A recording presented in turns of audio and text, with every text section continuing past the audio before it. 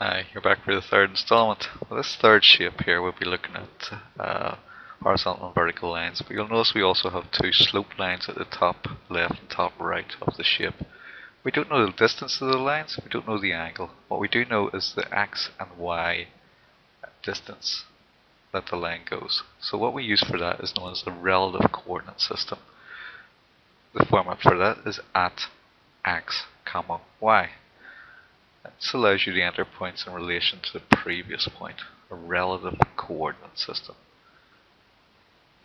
Let's see how it works. So, let's go draw a line.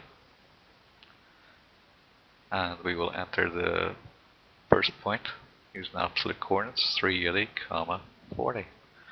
Ortho's still on, so I can draw a horizontal line by moving the cursor in the direction, or the mouse in the direction, type in the value once we get up to this point, we can see it goes 25 to the right, 22 and a half up to the page. So those are x and y coordinates. So we type in at, make sure your at symbol appears, 25 comma 22.5 and hit return. You'll see the slope line. Go over to the right, type in 60.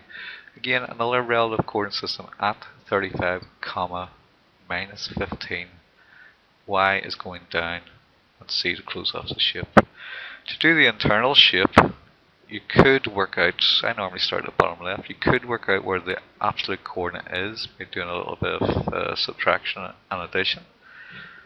But I said, I think there's an easier way of doing it. Draw a line, but first make sure your object snap is turned on so we can connect on to the end point of a line. Oops, wrong one draw a line from here over this way 20 millimeters and up 20 millimeters and hit return. These are construction lines. They give us a point to start drawing the internal shape. So we can go up 50, across to the right. Notice I'm not clicking anywhere, I'm just moving the mouse in direction and typing in the value, hit return. 30, 20, and I can't type C this time because I didn't start at the bottom left corner of my shape, so snap onto there hit return.